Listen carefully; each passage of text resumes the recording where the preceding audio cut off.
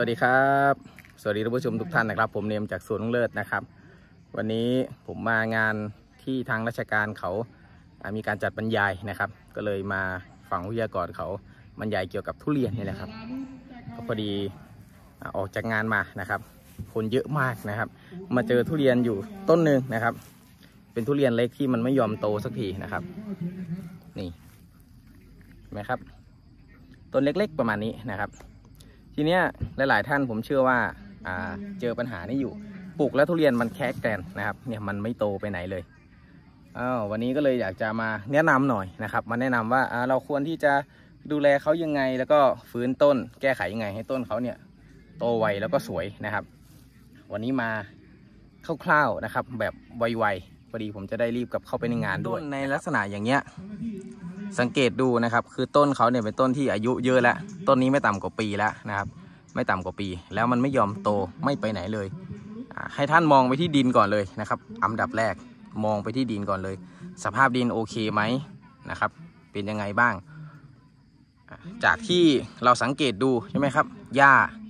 มีการเอาหญ้าเอาฟางมาคุมที่โคนไว้เนี่ยก็ถือว่าโอเคแล้วนะครับ ถือว่าโอเคแล้ว แต่นะครับ ดูตรงนี้นะครับ ที่โคนมันค่อนข้างที่จะ นี่ เห็นไหม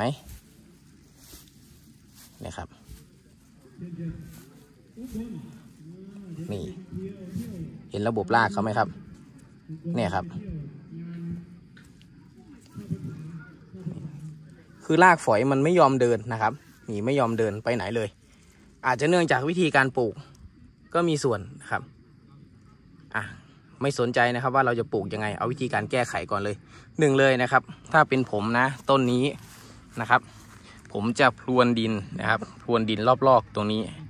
นะครับ ให้ดินมันโปร่งเอาหญ้าออกให้หมดเลยนะครับ เอาหญ้าออกให้หมดเลยพรวนดินเสร็จแล้วผมจะเติมอินทรีย์วัตถุ ก็คือปุ๋ยคอกเรา อย่างเช่น ปุ๋ยขี้ไก่แกลบนะครับ เน้นไปที่ขี้ไก่แกลบ หรือขี้ไก่อัดเม็ดนะครับต้นหนึ่งประมาณสัก เอาให้มันเต็มโคกนะบริเวณที่เราพรวนดินนะครับพรวนดินเสร็จแล้วเนี่ยคือการพรวนดินเนี่ยเป็นการเติมออกซิเจนให้ดิน เป็นการเรียกระบบราก ผมมองว่าเป็นการเรียกระบบรากที่ดีที่สุดแล้วนะครับที่ผมทำมานะคือการพรวนดินเนี่ยต้นไหนไม่ยอมโต แค่พรวนดินมันก็มีการเปลี่ยนแปลงแล้วนะครับได้ยอดได้อะไรใหม่ขึ้นมาสวยงามแล้วส่วนทางใบนะครับ ทางใบปล่อยไปก่อนเลยอย่าเพิ่งไปยุ่งกับเขานะครับอย่าเพิ่งไปยุ่งกับเขาให้เขามีการเจริญเติบโตทางระบบรากเองก่อน เรื่องของทางใบก็ดูแลเรื่องของแมลงไป หรืออยากจะเสริมปุ๋ยทางใบก็ได้นะครับฉีดก็ได้อย่างเช่นพวกปุ๋ยเกล็ดตัวหน้าสูงก็ได้ หรือจะเป็นปุ๋ยธาตุรองเสริมก็ได้นะครับ ฉีดเดือนละหนึ่งครั้ง แต่การแก้ปัญหาที่จะทำให้ต้นเนี้ยมีการเจริญเติบโตที่ดีเลยนะครับ ก็คือการทำดิน คือการทำดินให้มันเหมาะแก่การเจริญเติบโต การพรวนดินการทำให้ดินมันโปร่ง การเติมอินทรีย์วัตถุนะครับ ส่วนปุ๋ยเคมี ถ้าเกิดท่านอยากใส่ให้เป็นปุ๋ยเคมีสูตรอ่อนๆ เป็นอินทรีย์เคมีอย่างเช่น 6 3 3 9 3 3 พวกนี้นะครับ จะยี่ห้ออะไรก็ช่างนะครับ สามารถที่จะใส่ได้เนี่ยสังเกตดูหลายๆต้นเลยนะครับ ลองดูนะครับทำแค่นี้ลองดู แล้วจะเห็นการเปลี่ยนแปลงที่ มันต้องลองดูนะครับ ลองลองและรู้กับตัวเอง เจอกับตัวเองมันถึงจะ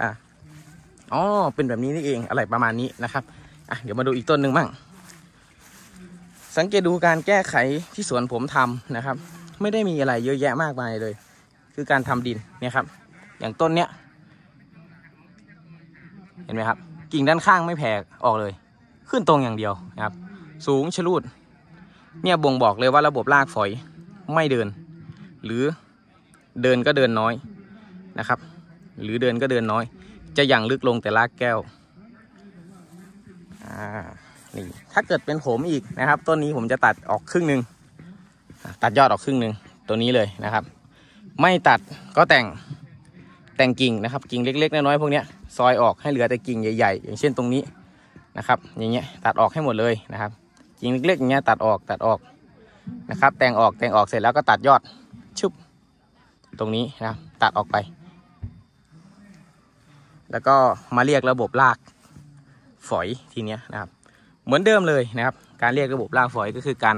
ทำให้ดินมันโปร่งพรวนดินใส่ปุ๋ยห่างๆปุ๋ยอินทรีย์เคมี หรือปุ๋ยคอกอัดเม็ดใส่ห่างๆนะครับ เพื่อที่จะล่อให้ระบบรากฝอยเขาเนี่ยออกมาหากิน ไม่ให้มันกระจุกวนเวียนอยู่แต่ที่เดิม แล้วก็การทำโคกก็มีส่วนนะ ที่จะทำให้ทุเรียนสวยหรือไม่สวยนะครับ ให้มองภาพอย่างนี้ถ้าเกิดอย่างต้นนี้มันเป็นแอ่งตรงกลาง ดูก็รู้นะครับ ดูผ่านกล้องก็รู้เลย ว่ามันเป็นแอ่งอยู่ตรงกลางนะครับ เวลาหน้าแล้งหรือไม่มีฝน เวลาเราให้น้ำมันจะไหลกระจุกมาตรงกลางนะครับ ไหลกระจุกมาตรงกลาง น้ำบริเวณนี้มันจะแห้งนะครับ พอแห้งแล้วเนี่ยรากฝอยมันก็ไม่เดินออกมาหาน้ำ เพราะว่ามันไม่มีน้ำพอไม่เดินออกมา กิ่งข้างก็ไม่ขยายไม่ยืดยอดไม่ค่อยเดิน ก็เลยทำให้ทุเรียนออกมาในทรงนี้ ถ้าเกิดเราทำดินใหม่ หรือเตรียมโคกใครที่ยังไม่ได้ปลูกนะ พยายามเตรียมโคกให้ตรงโคนต้นเป็นจุดที่สูงที่สุดให้ได้ แค่นี้นะครับทำดินทำอะไรก่อนจะปลูกให้ดีเลย เป็นพื้นฐานหลักเลยในการทำทุ่าทำสวนทุเรียน เป็นพื้นฐานหลักเลยก็คือการเตรียมดิน นะครับ ที่เราปลูกไปแล้วอย่างเงี้ย มันค่อนข้างที่จะแก้ไขอะไรลำบากเห็นไหมครับ เราจะเอาดินไปถมที่โคนเพื่อให้โคนมันสูงก็ไม่ได้อีกนะครับ ก็ไม่ได้อีกเป็นการปลูกลึกไปอีก เนี่ย อายุเท่ากันนะต้นนี้กับต้นนู้นเดี๋ยวผมพาเดินไปดูนะครับ ต้นนี้เป็นหลุมตรงกลางเห็นไหมครับ โคนต้นเป็นจุดที่ต่ำเวลาให้น้ำให้อะไรในช่วงหน้าแล้ง หน้าฝนไม่มีปัญหาหรอกครับหน้าฝนเพราะว่ามันเปียกหมดแล้วรากมันก็สามารถเดินได้ แต่แรงเมื่อไหร่หัวสปริงเกอร์เราเหวี่ยงไม่ถึงเนี่ย น้ำมันไม่ไหลลงออกด้านข้างมันไหลเข้าไปที่โคนอย่างเดียว ระบบรากก็จะพังข้างนอกนะไปเดี๋ยวไปดูต้นนู้น จะให้เห็นกันเลยนะครับ เปรียบเทียบกันเลย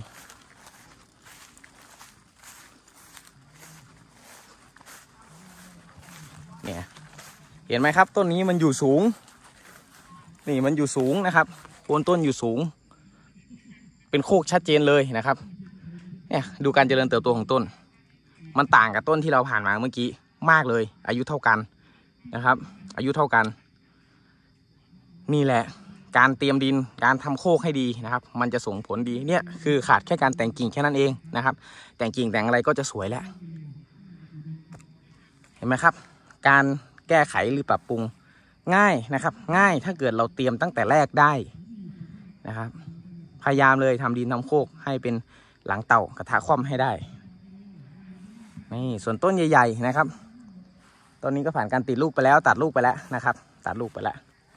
ก็เหลือแต่กระบวนการฟื้นต้นเนาะเดี๋ยวเราเข้ามาคุยกันอีกทีหนึ่งโอ้ต้นนี้ก็เจ็ดแปดปีแล้วนะครับ สวยงามโอ้โหไม่มีลูกเหลือเลยแสดงว่าตัดหมดแล้วนะครับ โอเคครับ ยังไงวันนี้ก็ขอบคุณทุกท่านที่ติดตามแล้วก็รับชมนะครับ แบตกล้องผมจะหมดแล้ว ยังไงก็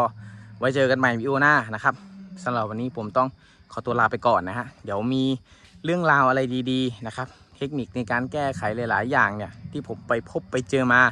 ผมจะพยายามอ่านำมาเสนอให้ท่านผู้ชม ให้ผู้ติดตามได้รับชมรับฟังนะครับ ยังไงก็